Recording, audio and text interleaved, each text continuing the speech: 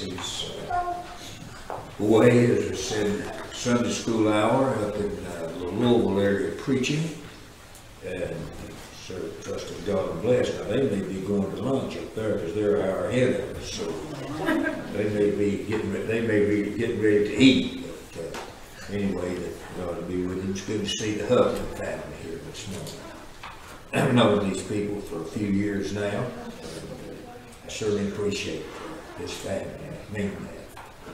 So, uh, anyway, I saw the vehicle coming in with a boat behind it, and I thought, well, and somebody said, that's, that's Brother Huffman and his family, so thank God for it. I don't they're catching any fish, but we uh, enjoy seeing them again and fellowship with them. You all live in West Virginia now, is that right? Ohio. Ohio, you still in Ohio? I knew that's where, you- I thought that Earth was My brother lives in West Virginia. Oh, was he the one I, I got that mixed up, yeah, I know, know them too, was Ohio. That's- All right, this morning, we want to, uh, uh, speak to you, Lord, helping us, uh, out of First Thessalonians, chapter one. You want to turn, turn there and find it, we'll look at some. Few minutes, to try to preach.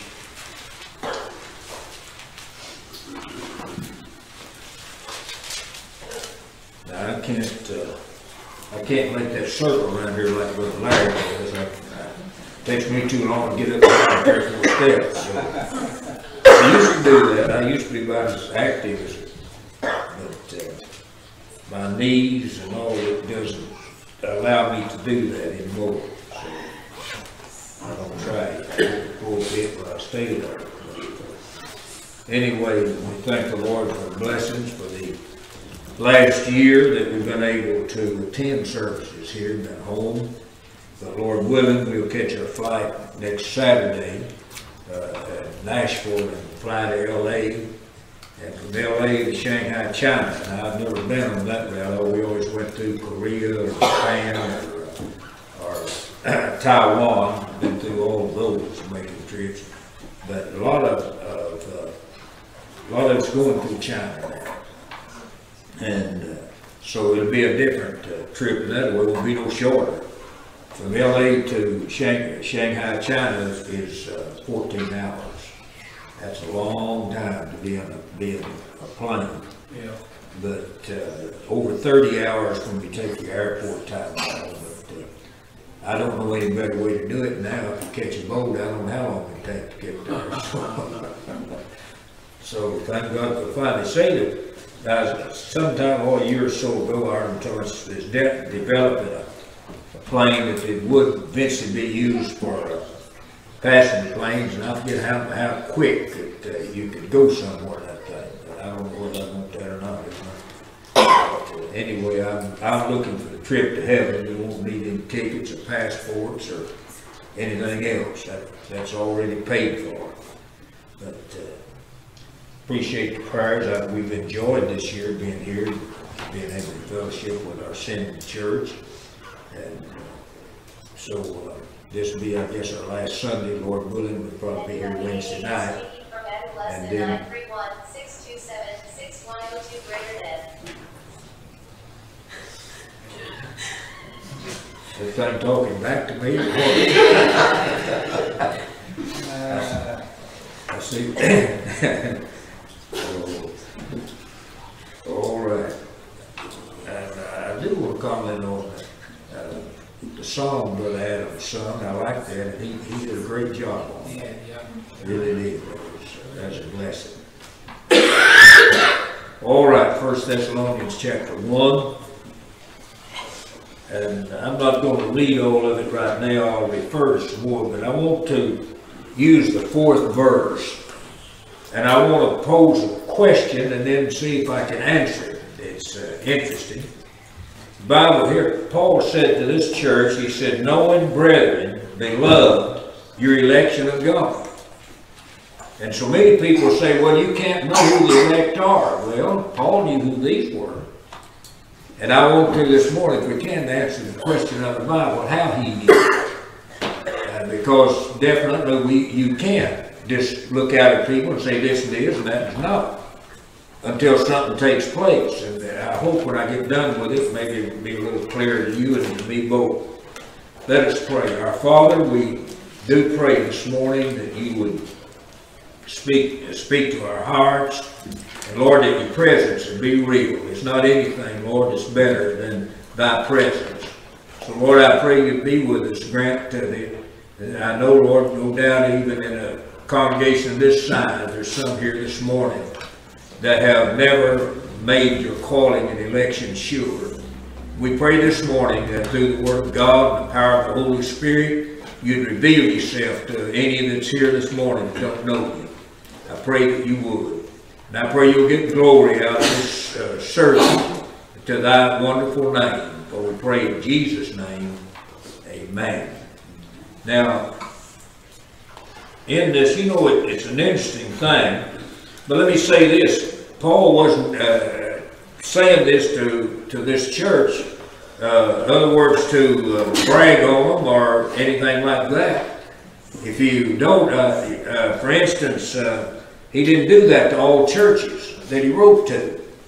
He wrote to the churches in Galatia, and he said in uh, Galatians 4 and verse 19, he said, uh, I stand in doubt of you.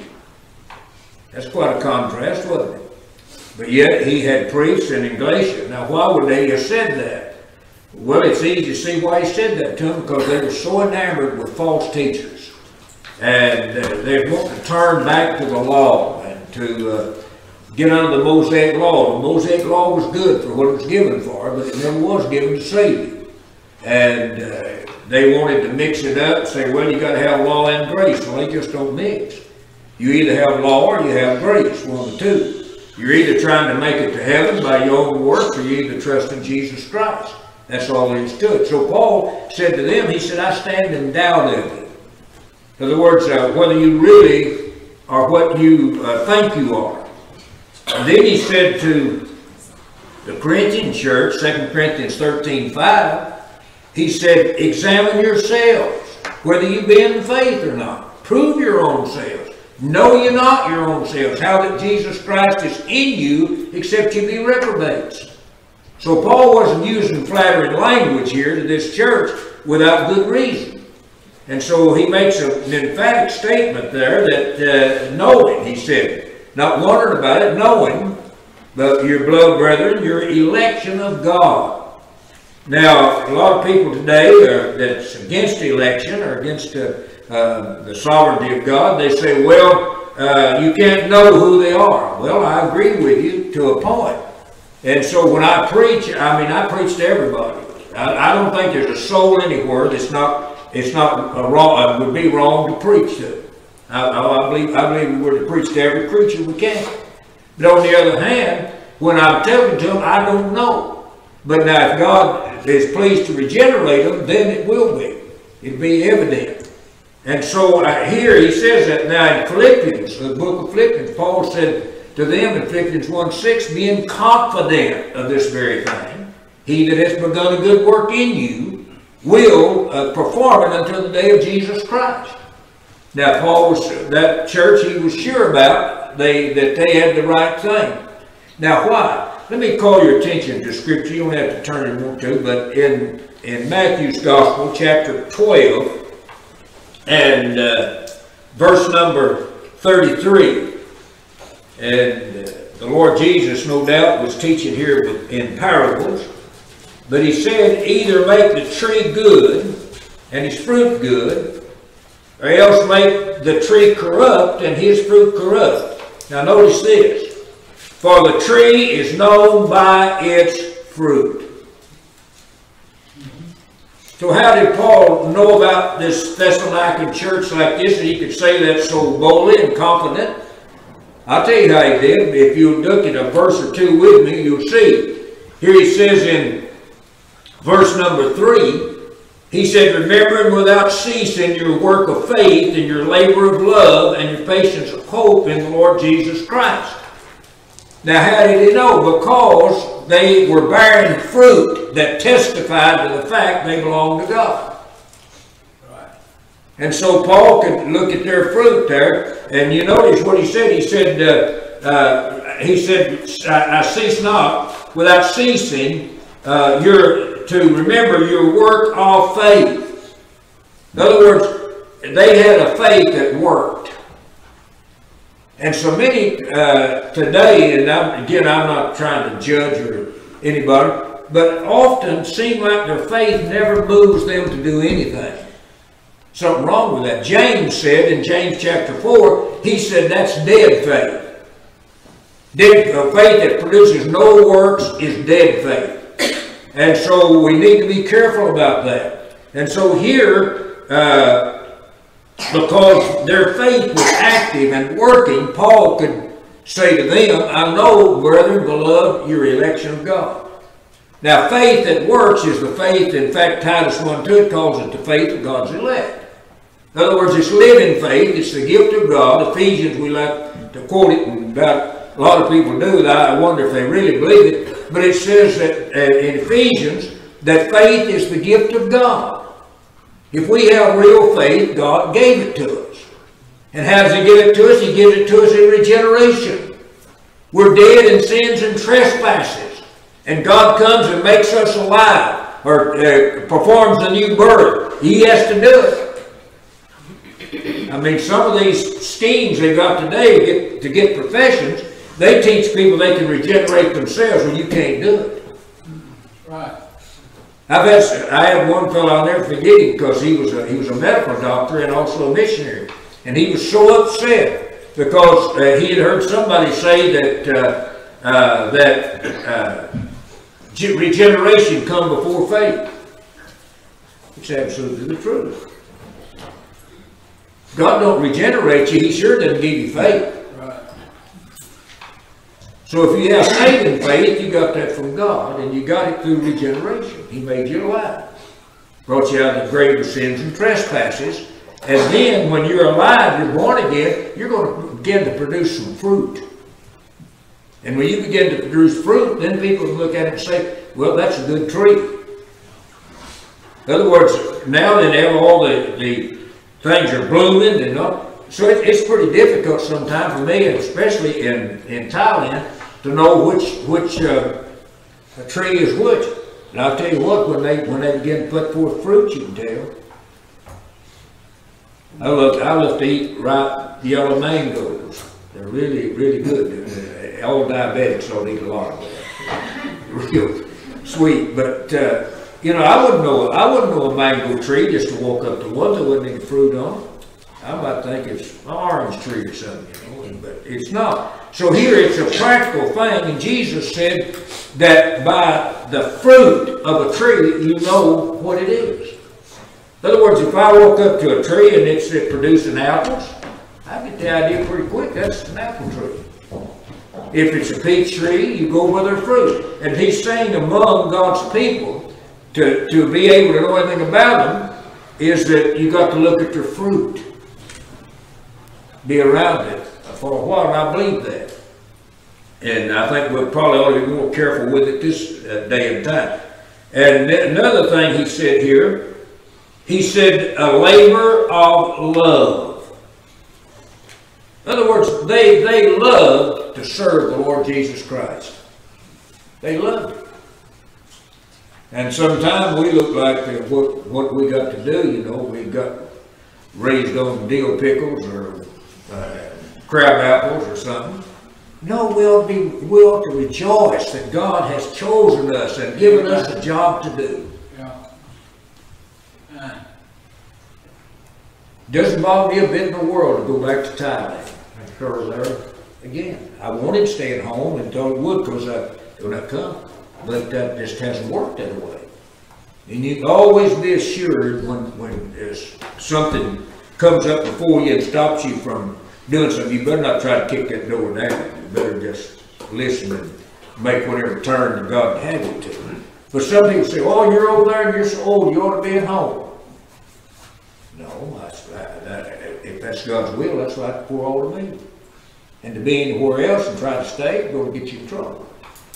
So no, it doesn't at all. I'm glad that God still got something for me to do, and I am convinced He has.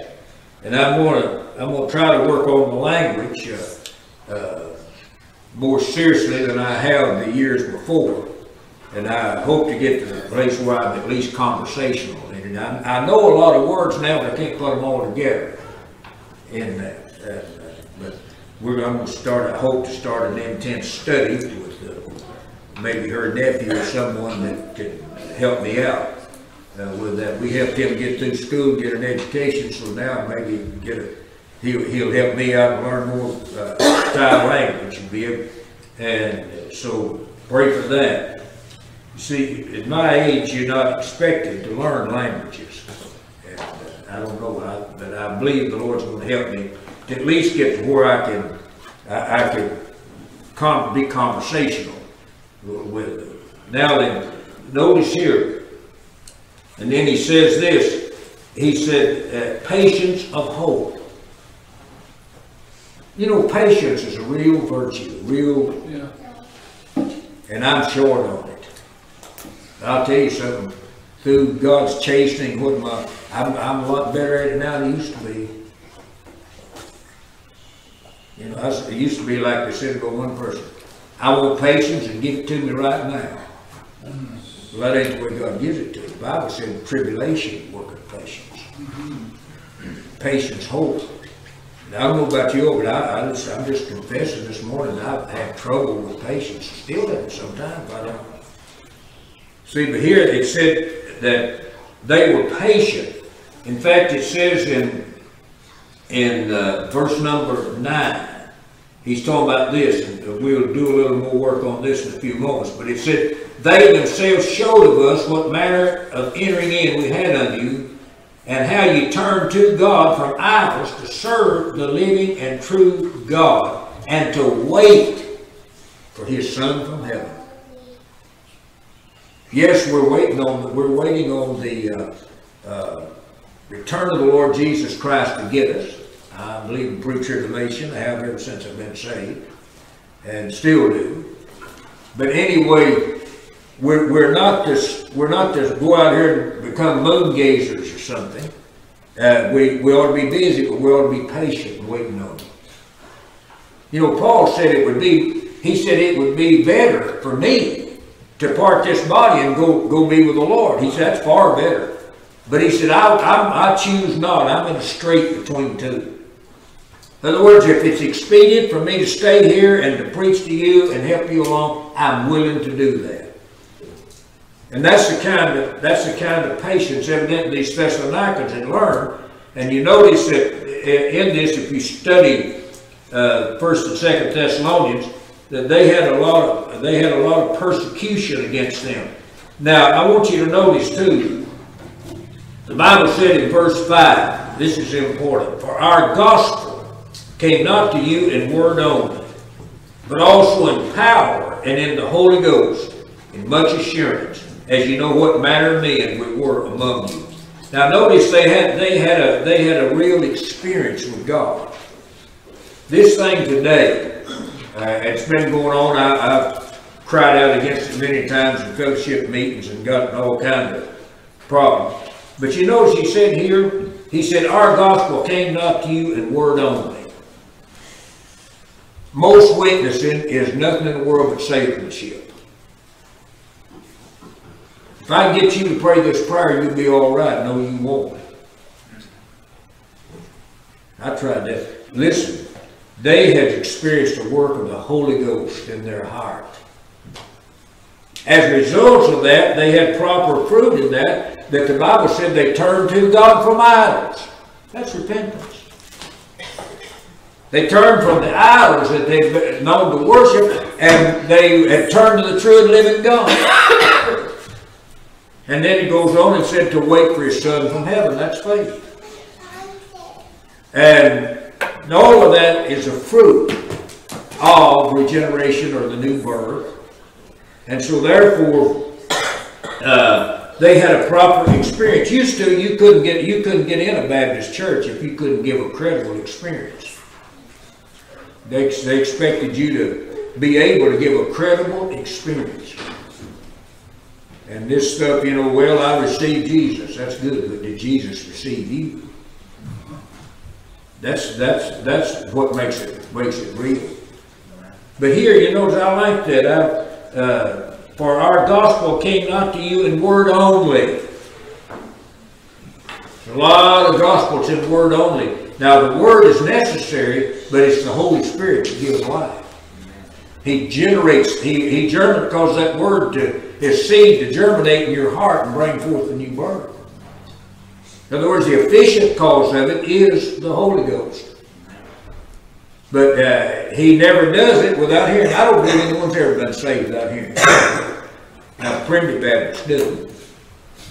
They teach that, you know, you might be saved and never know it till you get to heaven. Problem is, you're not going to get to heaven like that. That's a deception. In other words, that's, that would be a word only. And our neighbors all around us here that believe in baptismal regeneration, that's exactly what they believe. They say all you have is what's between your ears. I've had, them tell me that. You talk about you talk about the Holy Spirit and they make fun of you. I, I, wouldn't want to be in that shape because that's very close to blaspheming the Holy Spirit. But it's but here he said that that their experience was generated by the Holy Ghost. Our gospel came not to you in word only, but it also uh, in in the Holy Ghost uh, uh, here uh, came unto you in the word only, but also in power and in the Holy Ghost. There's two elements, I believe, in the new birth. One of them is the Word of God, and the other is the Spirit of God. And they both must be. And one of the things that's missing in our churches uh, so bad, I, I have a conversation with a lot of people about this, is that uh, uh, the Spirit of God is not working. In fact, He's ignored. They go to have a meeting, something that we do everything except what the Bible prescribes fasting and prayer. We've got to get, we've got to get our hearts, uh, we got to yield to God that God works in us. I remember when I, at Bumpus Mills, when they're too awful long, but uh, anyway, we wanted to have a, a, a meeting there. And we got to praying. We got had several prayers. I know Brother Junior and some of them remember that. And you know what? We had a pretty good meeting going there. Really did. God was with us. Several people saved. I remember one old elderly gentleman saved in that meeting. Had been a, on the police force in uh, Milwaukee. They'd moved down to uh, get out of snow up there. That's what he thought he moved for, but I think he moved, I think God moved him down to hear the gospel. But he he was saved, decided on four or five, seemed like professions. But you cannot have anything if you ignore the Holy Spirit. Because he must open up the heart, he must give life. And if he doesn't do that, you'll die just like you are. And I'm afraid we got churches filled up with people depending on, uh, depending on somebody else or something else. I was preaching a meeting in Orangeburg, Kentucky, a pretty good sized church, bigger building, there was a crowd there. There, but anyway, uh, the fellow, I was surprised when he called me and wanted me to come and conduct a revival meeting. And he was all enthused about it. I had a radio broadcast. So you want to know if good? I said, well, you know, you don't really think I ought to come? I- to set a date, and I did. And I got there, and I think, oh, maybe a month or before that, they'd had another evangelist, Sands claimed they had hundred and eighteen saved, and, and the FBI couldn't found them. But I just in there and preaching. But God was with me, and I could tell you, I was driving about fifty miles each way. And every night, going home, the Lord give me the message for the next night, and all I had to do the next day was just get it down.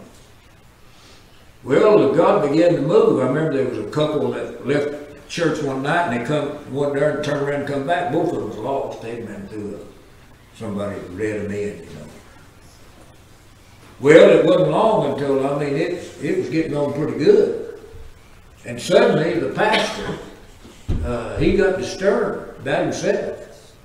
And he'd come down every night and pray, and he'd get up and he'd look and say, I know I'm saved because so-and-so, pretty well-known man, led me to the Lord. Now, I know God does use hum- human instrumentality, but it's the Holy Spirit that introduces you to Jesus Christ. Right. Yeah, And so we just need to stay, as, as Paul said to Timothy, stay with the things that you have learned and been taught that you know's right. Don't get sidetracked. And, uh, this. So they had a, they had a proper experience there. For our gospel came not to you in word only, but also in power, in the Holy Ghost, and in much assurance. Oh, for a revival like that again to visit our churches and deal with people.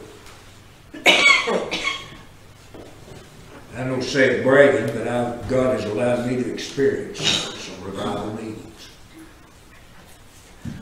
Was, years ago, I was living in Texas. I knew the Lord wanted me to come back around Kentucky, so when I came back, some people that wanted to get an old building, this old Forest Grove School building outside of Marion. We started a meeting there. And God began to move and bless, and there's two or three other churches that were coming all the time. And after that was over, they tried to call me at a church down in the community there, Frances Baptist Church. And the Lord wouldn't give me any green light to go. And so I went down and preached two or three times with it for them and had a good, good time, but I couldn't get it settled in my heart that God wanted me to take the pastor. And they got, uh, they wanted to have a meeting and they wanted to know if I'd come and preach the meeting. They, they'd called another pastor, I knew who he was.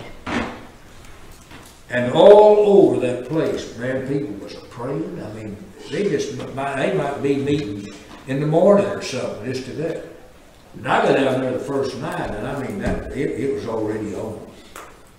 And I will forget that night, the fellow's leading singing, and he's also, uh, I guess about the main deacon in the church. Him and his wife and another lady used to sing for me in meetings.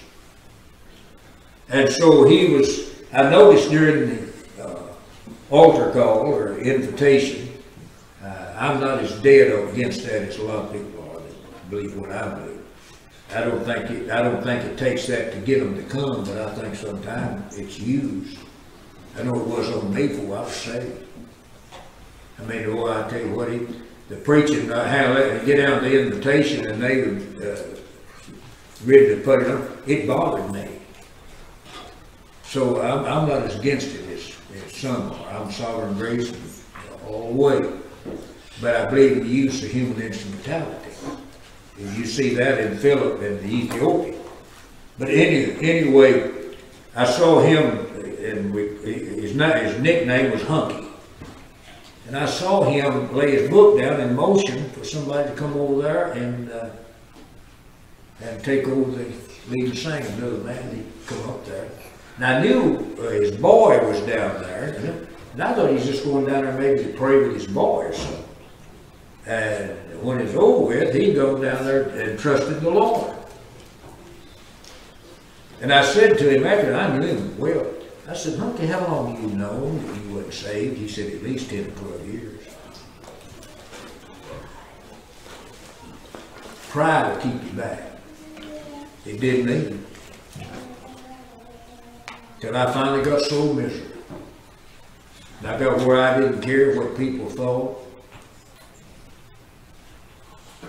Because I was active in church, but I didn't have any peace. Oh, that day. Oh, that day when God helped me, I said, I never forget it. He, he didn't save me because I said those things. He brought me to it. Uh, Lord, I don't care if I'm a deacon or what I am. I just want peace. And he struck that in my heart.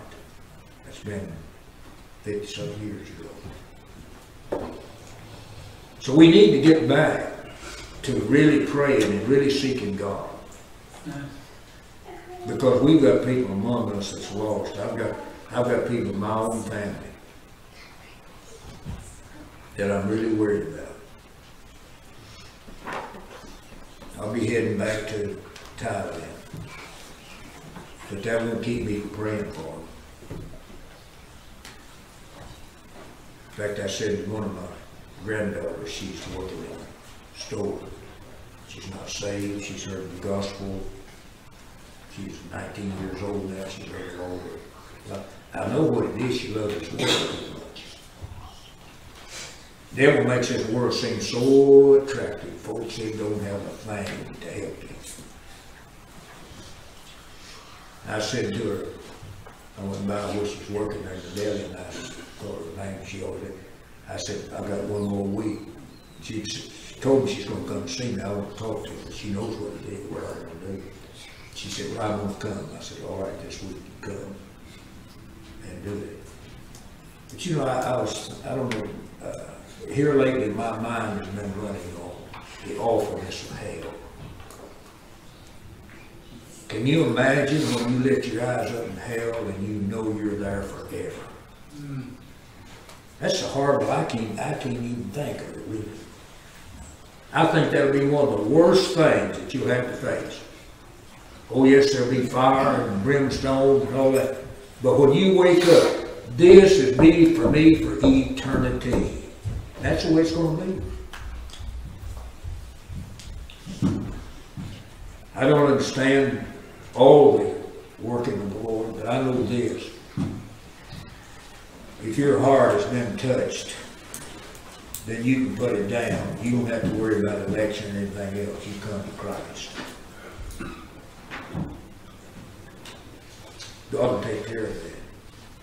Another thing I thought of, how sad it's going to be if people get left behind and some will, that had knowledge of it. And they wake up and the closest people to them, their family's gone. This is serious business, folks. It's going out here and trying to peddle something for numbers that's not worth a dime.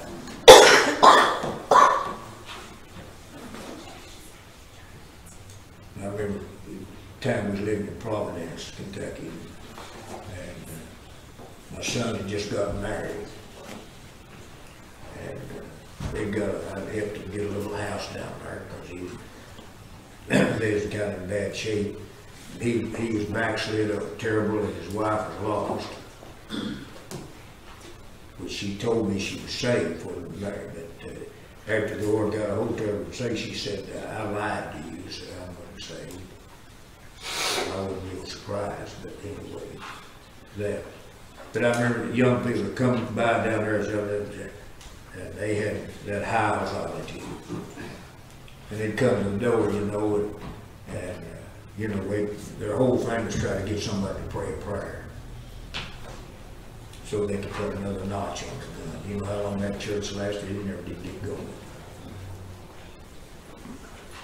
Oh, friend, we need to get out seriously. I say you here today, and I'm gonna close here in a minute. Kind of round what I'm, gonna be talking about there, but so I can see it too. I don't mind, I don't mind somebody looking at their watch, but when you hold it up and shake it, well, see if it's running. No, but seriously, I'm as serious as I can be. If you're not saved today, you're walking on thin ice. I used to hear him say the brittle thread of life. When he snaps it, that's it. You're in, you're in eternity. Ecclesiastes, the professor said, as a tree falls, so shall it. And whatever shape you die in, that's what, that's the shape you'll have for eternity. God help us to get serious. I'm thankful that the Lord led me to a church. And I was, I had joined the church and I was a kid. In fact, I went by it yesterday, I think every time I do. And, uh, they granted me a letter, they hadn't seen me in twelve years. I don't know what they recommended. But anyway, I got in the church it and I was lost as an Easter egg. But I still know God led me, because that church didn't have nothing else, it had the Spirit of God in it. I used to stand in the invitation of closing songs. And the Holy Ghost would say to me, young man, you're lost. Oh, how miserable. But thanks be unto God, God continued to work till he broke my pride and brought me face to face with the fact that I needed Jesus. And I say to you today, if you're not saved, you need Jesus. Amen. You don't need religion, you don't need this, you need Jesus. Psalms, even when I was a uh, youngster, I remember hearing, softly and tenderly, Jesus is calling. Right. Calling for you and calling for me.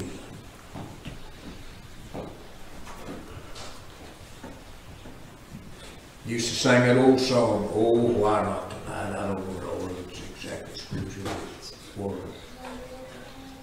Why do you tarry, dear brother?